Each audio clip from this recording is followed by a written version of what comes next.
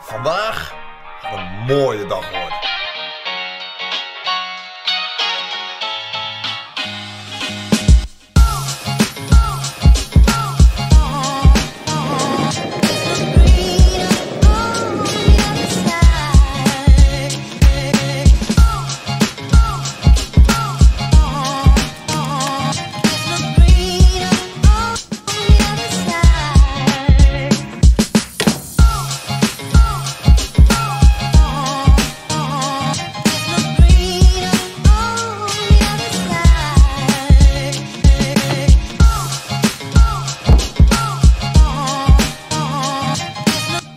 Het goed is, komt er vandaag namelijk een bestelling binnen.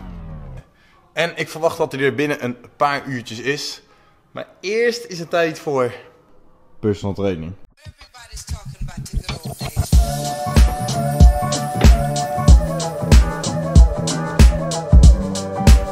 Maar voordat we deze uitgepakt en ik ga laten zien wat het is, zou ik ook nog eh, al twee vlogs vertellen wat hier nog meer komt te staan. En daar neem ik nu even de tijd voor. Hier in deze hoek komen nog 6 à 7 dingen te staan. Dat bankje dat gaat weg. Die buikspierapparaatje gaat ook weg. Ehm, kettingen en zo worden wat netjes opgeruimd. En dan kunnen we hier een rondje neerzetten. En hier op deze locatie er komt een legpressmachine. Alleen die is echt al een heel tijdje uitverkocht. Er komt hier op de plek van het bankje komt een bicep bankje. Een bicep blaster van ATX. Ziek ding.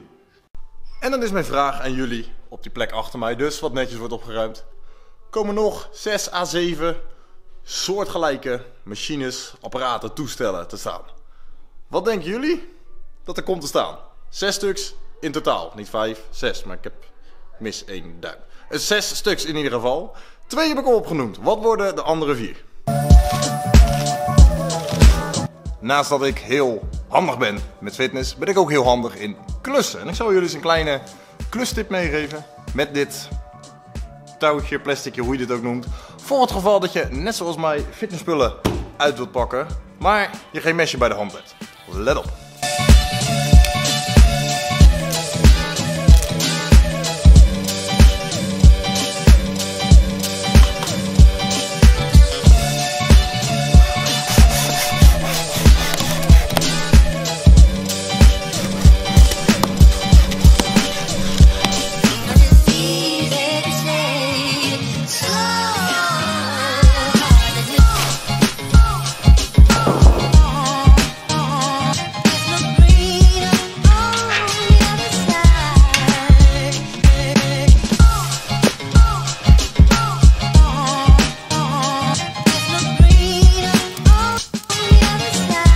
Eindelijk.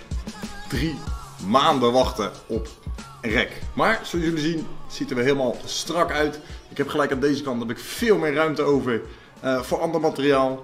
Eh, fantastisch. Een veelgemaakte fout bij zo'n rek.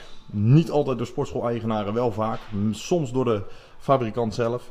eh, is dat ze de grote gewichten onderop leggen, zodat het stabieler is. Maar ik pak toch persoonlijk liever met 30 kilo gewoon op eh, heuphoogte uit het rek. In plaats van dat ik hem onderaf pak. De kans dat je met 10 kilo door je rug gaat is een aanzienlijk stuk kleiner dan met 30 kilo. Dus om die reden liggen de zwaarste dumbbells bovenop.